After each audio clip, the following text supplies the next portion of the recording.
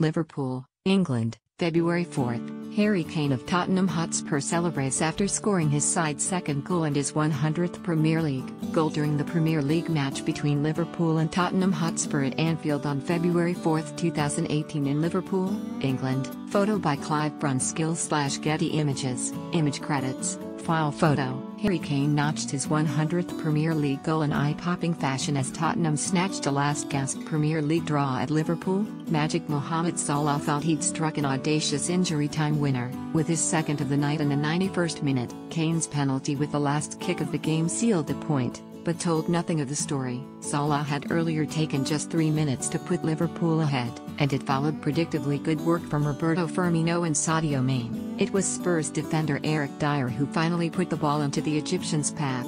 The striker's clinical finish then left the international calling for his mummy. James Milner almost doubled the advantage when he found space in the right channel firing past keeper Hugo Lloris but just wide of the left-hand post. Spurs almost found the elusive equalizer on 57 minutes. Son Heung-min's effort was well saved by Loris Karius, before the advancing Dele Alli drilled the rebound wide, but Alli blotted his copybook shortly afterwards with a pathetic dive in the Liverpool area, for which he was rightly booked by referee John Moss, all of which was forgotten with 10 minutes to play. Wanyama had been on the pitch for less than two minutes when the moment came. The Kenyan powerhouse layer-upped a right-footed thunderbolt into the top left-hand corner after the Reds had failed to clear their lines, and that was just for starters. Kane then tumbled over the desperate challenge of Karius with five minutes to play. It looked dodgy and perhaps justice was served when he fired straight at Karius as the German went from zero to hero. Kane thought it had cost him dear Salah worked his injury time wizardry. The goal machine beat two men in Lloris at his near post to light up Anfield once more,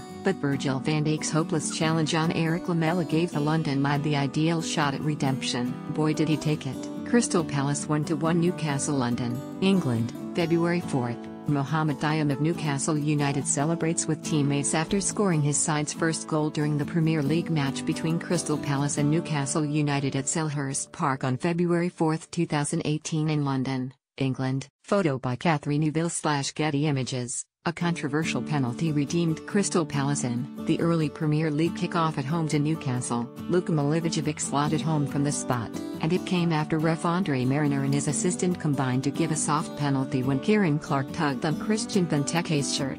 The away side had gone into halftime ahead following Mo Diamé's 23rd minute goal. He tucked in with ease after Kenedy's ball into the box evaded everyone in a red and blue shirt. EPL table on 4th of February Posteen Gags 1 Manchester City 26223174195569 Manchester United 26175451183356 Liverpool 26149359312851 Chelsea 2615 five five six four six two three two three five oh five Tottenham Hotspur two six one four seven five five one two four two seven four nine six Arsenal two six one three six seven five one three five one six four five seven Burnley two six nine nine eight two one two three two thirty six eight Leicester City two six nine eight nine three eight three five three three five nine AFC Bournemouth two six eight seven one one three oh three seven seven thirty one ten Everton two six eight seven one one two nine four five 5 16 31 11 Watford 26 86 1 2 3 7 4 5 8 30 12 West Ham United 26 6 9 1 1 3 2 4 6 14 27 13 Brighton and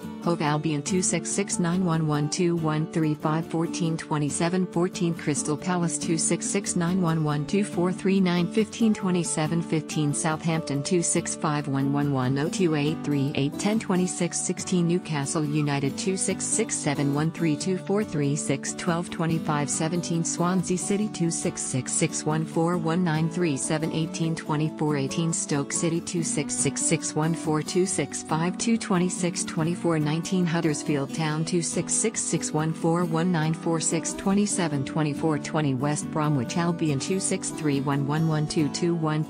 16 20 EPL fixture on 5th of February Watford v Chelsea 2200